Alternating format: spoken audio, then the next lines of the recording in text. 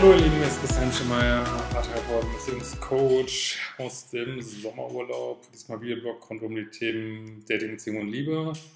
Selbstliebe-Challenge geht los, kann man so gerade noch einsteigen. Kann sich für die Ausbildung anmelden bei mir. Findet ihr alles auf liebeschip.de. Und kommt gerne zur Liebeschip-Party. So, wir haben eine Nachricht von ähm, Novskov, klar, und sie hat sich schon mal gemeldet wegen bei dem Video ähm, ungesunder Egoismus oder Reste überwundener Co-Abhängigkeit. Ja, was auch sehr cool war. Ja, ähm, genau. Heute geht es um das Thema Eifersucht. Bin ich zu Recht eifersüchtig? Äh, ich brauche deinen Rat. Mich packt ständig die Eifersucht mit meinem Partner. Ich muss dazu sagen, dass ich in allen Beziehungen in meinem Leben schon immer sehr eifersüchtig war, da alle auch weibliche Bekannte pflegten. Betrogen würde ich jedoch nie von einem Partner.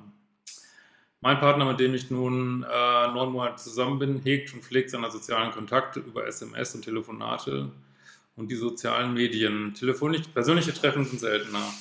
Zu seiner Treue in seiner vergangenen, ähm, also Ehe über mehrere Jahrzehnte hatte er immer einmal eine Affäre. Ansonsten ist er immer treu gewesen. Er ist sehr charmant in seinem Wesen und hört Frauen gern zu, gut und lange zu, ein echter Frauenversteher halt. Grundsätzlich ist er zu mir wie ein offenes Buch und lässt mich in alles einblicken. Ich habe nicht das Gefühl, dass er etwas verheimlicht, auch hat er mich noch nie angelogen oder auch nur den Schein vermittelt, unverbindlich zu sein. Jetzt zum Konkreten. Ein halbes Jahr vor der Trennung von seiner Ex-Frau lernte er in einem gemeinsamen Urlaub Anna kennen, zu der er nun Kontakt hält. Ja, es war vor eurer Beziehung. Also, ist, ähm, kann ich dir jetzt schon sagen, musst du durch. Also, nach seiner Aussage hätte sie ihn auf seinem Weg in ein bewussteres Leben begleitet, mit ihm für ihn wichtigen neuen Lebensimpulsen. Sie sei sein Coach gewesen und hätte ihm in der Trennungsphase Kraft gegeben. Es gab monatlich circa ein Treffen, von dem seine Ex-Frau nichts wusste. Ja, also darüber sollte man jetzt auch nicht urteilen. Ich meine, erstmal ist überhaupt nichts passiert, dann ist eine Trennungssituation und ja, aus meiner Sicht alles okay. Äh, darauf angesprochen, wo man nichts sagte, sagte er, er hätte nicht gewusst, was in mir vorgeht und wollte die Situation erstmal beobachten.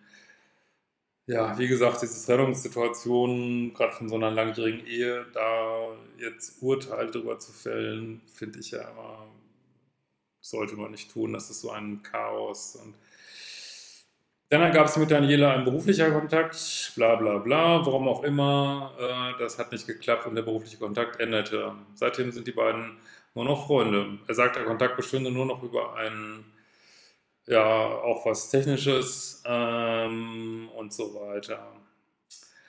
Ja, also wie gesagt, da musst du durch. Das ist ein gutes Recht. Also du kannst nicht mehr erwachsenen Mann vorschreiben, welche Menschen er trifft, auch nicht welche Frauen. Also ich würde ja, also wenn sozusagen die Exklusivität feststeht, würde ich immer raten, überhaupt keine Regeln aufzustellen, weil das macht einfach keinen Spaß. Man wirkt eine Beziehung damit ab. Es ist äh, anstrengend, es ist irgendwie auch man das Gefühl, ich nur damit ich in einer Beziehung sein kann, muss ich jetzt alles Mögliche sein lassen, finde ich nicht gut. Also, und ja, also worauf ich dann auch, denke ich, hinaus will, das ist alles, muss ich jetzt einfach sagen, ist dein Ego oder dein Fragezeichen in deinem Kopf, was total okay ist, was ganz viele haben jetzt, ne? aber ähm, dass du das für dich eine Bedrohung ist, weil da ist keine Bedrohung und je mehr du das auch nicht als Bedrohung siehst, umso besser wird es ausgehen, denke ich so. Und äh, natürlich, es gibt beides. Es gibt so unbegründete Eifersucht und es gibt Eifersucht, weil einen jemand ständig anträgert. Aber hier kann ich jetzt wirklich nicht sehen, auch nicht, ähm, auch nicht so energetisch oder so, dass mein Partner irgendwas falsch macht. Also muss ich ganz ehrlich sagen, äh, die gab es vorher, die Frau. Du kannst nicht von ihm erwarten, dass er die abschießt, nur weil es dich jetzt gibt. Ähm, wenn du das durchsetzt, wirst du da einen hohen Preis bezahlen. Und genauso gut, also natürlich mal gleiches Recht für alle, genau kannst du, genauso gut kannst du natürlich männliche Freunde haben. Also klar. Äh, so, er hat von Anfang an kein Hehl daraus gemacht, dass er ein paar weibliche Bekannte hat. Ja, auch genau richtig gemacht, am Anfang gesagt. wunderbar. Er sagte mir auch beim Gespräch darüber, wie wir in unserer Beziehung mit Ex-Dates umgehen wollen. Er sehe es auch nicht ein, den Kontakt zu alten Bekannten abzubrechen. Ja, finde ich auch gut, dass er dafür einstellt für sich. Äh, wir haben uns darauf geeinigt, äh, dass wir Ex-Dates nicht mehr treffen. Ja, also Ex-Dates ist vielleicht auch wirklich zu schlüpfrig, sag ich mal. Aber Leute, mit denen man nie was hatte, klar, er die treffen. Ne?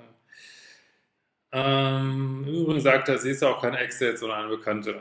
Die Tage hat er mir einen Eintrag aus seinem Tagebuch vorgelesen. Also da, allein, dass er das schon muss, ist viel zu viel, finde ich. Also lass das nicht so auf. Echt, guck da mal, was für ein Punkt in dir ist warum verunsichert dich das so, warum pickst dich das so an, äh, aber das kannst du echt nicht bei ihm suchen. So. Äh, die Tage rief sie abends an, er zeigte mir den Anruf, aber ging nicht ran. Ja, jetzt hätte schon diesen, jetzt hätte er auch schon keine Lust mehr dann ranzugehen, das willst du eigentlich gar nicht, ne? Weil Kontrolle, äh, also du übst ja jetzt eine gewisse Kontrolle aus, die führt wieder zu Geheimniskrämerei, also genauso wie Geheimniskrämerei zu Kontrolle führt. Das ist so ein eins bedingt das andere. Ne? Er sagte dann, sie würde sich ab und an mal melden, hätte äh, auf ihre SMS, letzte SMS gar nicht geantwortet. Als er mir die Tage sein Handy ausgeliehen hatte, reichte mir erst mit der geöffneten Anrufliste. Ich sah Telefonate mit ihr am nachfolgenden Mittwoch, gegebenenfalls auch wechselseitige Anrufversuche. Ja, es, lass es. Spart deine Energie für was anderes, echt. Ähm, ich habe bereits einige seiner weiblichen Bekannten kennengelernt und da ist von seiner Seite auch nichts. Er ist sehr durchschaubar ja, also solange er immer sagt, hey, wir können uns auch so dritt treffen, ist, ist alles fein. Also nicht, dass man es immer müsste, aber solange das möglich ist, wie beim Kumpel. Auch an sich ist er wohl zugänglich für Unterhaltungen mit Frauen, aber nicht sexuell überaktiviert. Äh, ich sehe gelegentliche SMS-Eingänge von der Claudia. Ähm, hak's ab, echt. Ähm,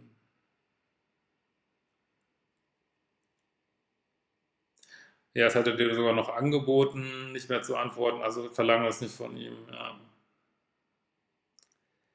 Seitdem mache ich die Souveräne, wenn ich eine SMS oder die Anrufliste mitbekomme und spreche das Thema nicht mal an, frage mich, wie B&C jetzt reagieren würde. B&C ist zwischen auch eifersüchtig und versuche es mir auszumachen. Ich habe auch das Gefühl, durch die Gespräche, die wir bereits darüber geführt haben, ist er auch schon ein wenig sensibel über das Thema und spart es aus. Ja, das kann man ihm nicht vorwerfen. Er hat nichts falsch gemacht. Also wirklich, hör auf, es immer wieder zu thematisieren. Lass es einfach los und guck dir die Emotionen, die in dir stehen, dann an, würde ich sagen.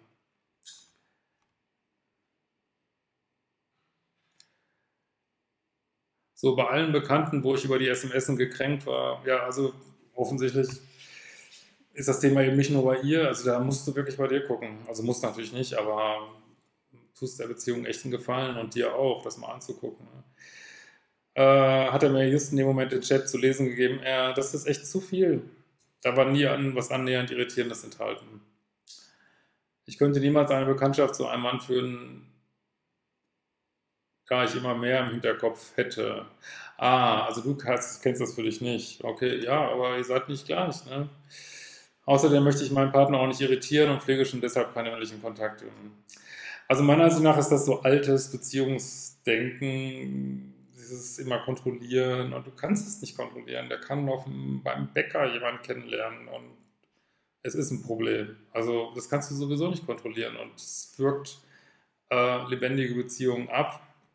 Und vielleicht bist du auch so pieksig, weil du dir das selber immer äh, nicht gegönnt hast, vielleicht mit einem Mann Freundschaft zu haben und bist deswegen so angepiekst, weil er sich das einfach das Recht nimmt. Aber naja, es ist, in jeder Beziehung gibt es neue Aufgaben. Das ist jetzt vielleicht dann deine Aufgabe, wenn dich das so aufregt. Also ja, vielleicht solltest du dann auch mal Freundschaften zu Männern führen und, und, und, vielleicht kann das für dich auch bereichernd sein, weil das ist, ihr trefft euch sonst auf dem niedrigen Niveau, wo man sich alles verbietet, ne? Äh, aber das macht keinen Spaß. Also ich sage ja immer lieber auf einem hohen Niveau treffen, wo man sich viel erlaubt und sagt, hey, ich, Hauptsache dir geht's gut und wir sind ehrlich miteinander, weil in diesem neuen Beziehungsdenken ersetzt Vertrauen Kontrolle so, ne? Also man, äh, oder auch Ehrlichkeit Kontrolle, also man sagt einfach, was Sache ist und äh, da muss halt jeder mit seinen Emotionen klarkommen und verheimlicht auch nichts, aber man schränkt sich auch nicht unnötig ein. So, ne? äh, so. Also hält sich auch an Vereinbarungen. Das Thema begleitet mich von Anfang an in der Beziehung. Ich kriege zwischendurch immer wieder hin, einen gelassenen Moment zu bekommen. Aber wenn ich wieder mal eine SMS oder einen Anruf mitbekomme, bin ich erstmal wieder einstellung, weil ich einen Wind und kriege den Kopf tagelang nicht frei. Ja, also da musst du jetzt keinen Zeithorizont setzen, in dem du das bearbeitest, aber du kannst das meiner Ansicht nach nur bei dir lösen. So, ne? Klar, hast jetzt wieder eine Aufgabe gekriegt, aber so ist das. Wir suchen uns immer neue Aufgaben. Ne? Nachdem wir in der ganzen Beziehung jetzt sechsmal darüber gesprochen haben, habe ich es drangegeben, weil ich nicht das Gefühl habe, dass er es einsieht, die Kontakte zu verlassen. Das kannst du nicht von ihm verlangen. Also du kannst es zwar, aber aus meiner Sicht muss er das nicht machen. Also ich würde mir das auch nicht bieten lassen. So. Also ich würde auch sagen, hey, lieber Feuer da, es ist eine Freundschaft, es ist im Wesentlichen sogar eine Telefonfreundschaft. Also Es sei für ihn nur Kommunikation und er freue sich, wenn er abends mal jemand anriefe. Äh, grundsätzlich liebt er mich total und bezeichnet unsere Beziehung als einzigartig und will mit mir zusammenziehen. Ja, was willst du mehr?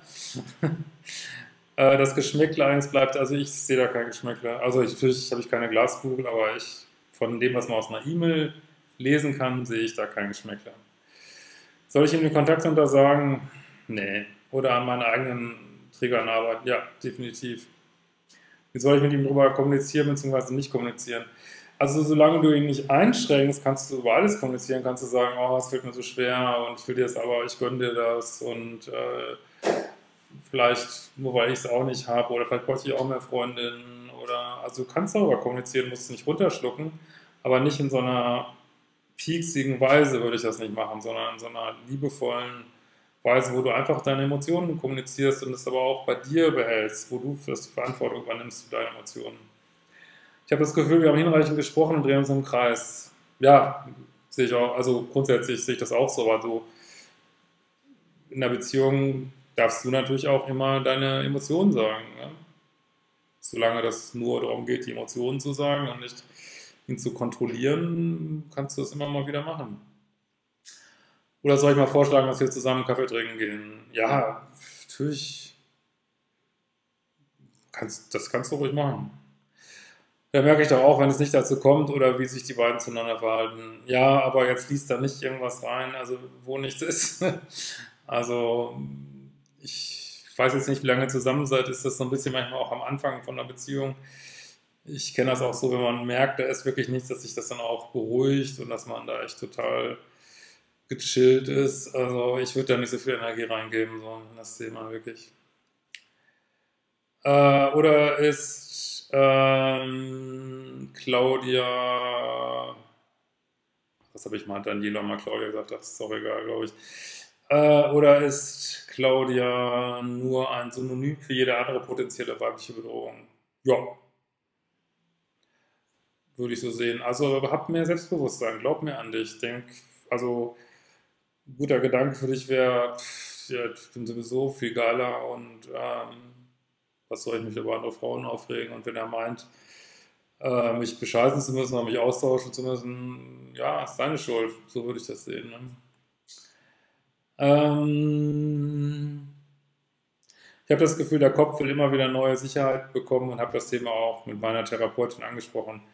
Sie meint, ich soll das Thema bei mir lassen. Ja, würde ich grundsätzlich tatsächlich genauso sehen. Liebe Grüße. Ja, vielen Dank für deine Fragen. Könnt auch solche Fragen stellen über ein Formular auf liebeschiff.de und da gibt es so verschiedene Optionen und wir werden uns bald wiedersehen.